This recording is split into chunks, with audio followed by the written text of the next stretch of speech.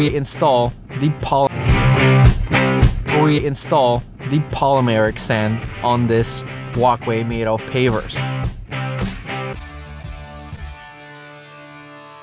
All right, on this video, we're gonna put polymeric sand on this walkways. The polymeric sand is a mixture of sand and some polymers that creates a strong bond, kind of acts like glue. You put that in between the joints. Um, this isn't gonna go anywhere, but it's always good to have an extra layer of protection. Plus, it's gonna make sure that no ants, no bugs, uh, nothing grows from underneath and nothing falls in there.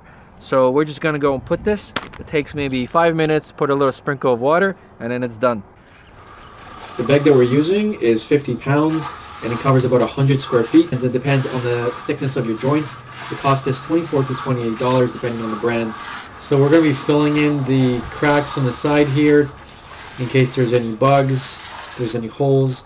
This glue will harden extremely strong. Polymeric sand comes in different colors from charcoal to black to beige to tan.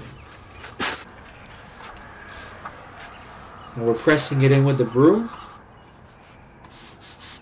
Make sure you don't take the polymeric sand out of the joints when you go back and forth. Make sure you press it in with the back of the broom or the front.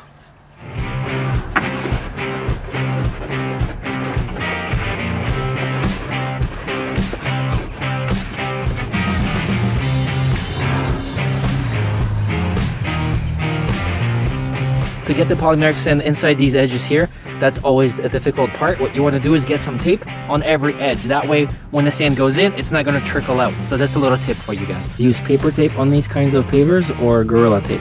Gorilla Tape is really sticky, so paper tape is probably a better bet. Now you want to take this and kind of wrap it underneath so the sand doesn't trickle under and then you push it through like that and then there you go make sure you get all the sand off the paver so when you put the water on it doesn't dry up on the pavers. Now that the pavers are done, the next step is to grab hose and with a light spray, just kind of pour the water on and within an hour, you're gonna have a super dry uh, walkway.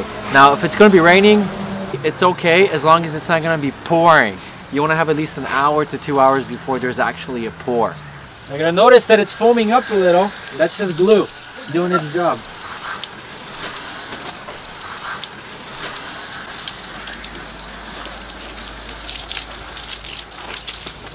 That's it. So you're gonna notice that there's foam happening. It's okay, don't worry about it, don't brush it off. Let this do its thing.